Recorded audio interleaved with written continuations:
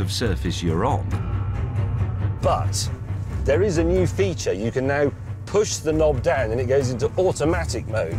And then the car will work out for itself, believe it or not, what sort of terrain you're on, what ride height you need, all the rest of it.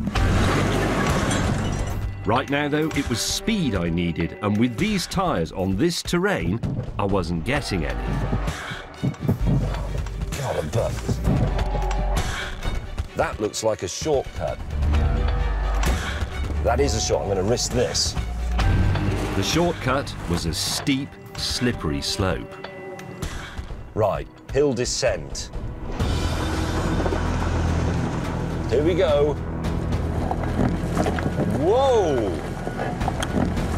Whoa, that's steep. No, I'm losing it. No, I'm not. Whoa! Oh, God, he's right there. And sure enough, Yes, take that, Robocop.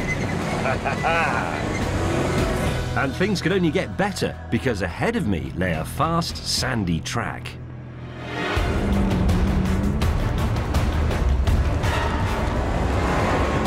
Whee! This is the 510 horsepower supercharged Range Rover. You'd be mad to buy this one in Britain. It's so thirsty. Makes sense out here though, and it makes sense doing this.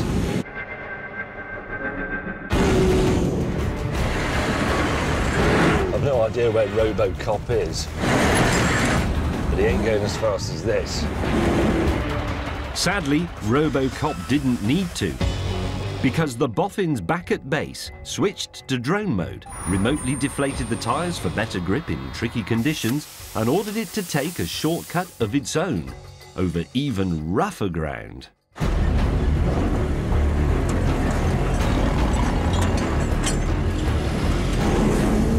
Way!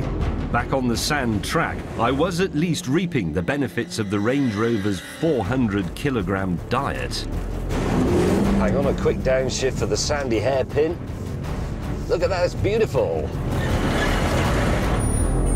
But the Terramax's shortcut had put it ahead, and now the terrain was even more in its favour.